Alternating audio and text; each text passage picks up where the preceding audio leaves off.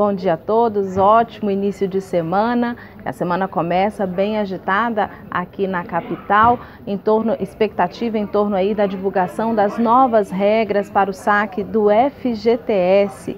E até a quarta-feira o governo deve informar quais serão essas regras. Hoje o presidente Jair Bolsonaro se reúne com o ministro da Casa Civil Onyx Lorenzoni, também com o ministro da Economia Paulo Guedes para discutir esse tema.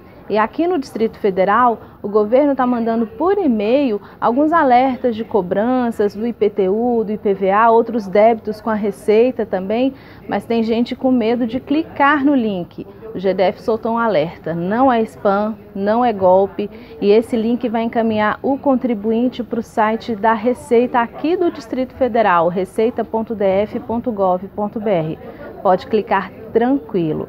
E lá em Porto Velho, Rondônia, a Defesa Civil Municipal confirmou o desbarrancamento em torno da estrada de ferro Madeira Mamoré. A gente segue atrás dessas informações para você e você acompanha a gente aqui na Rádio Nacional, também na TV Brasil, na Agência Brasil e nas nossas redes sociais.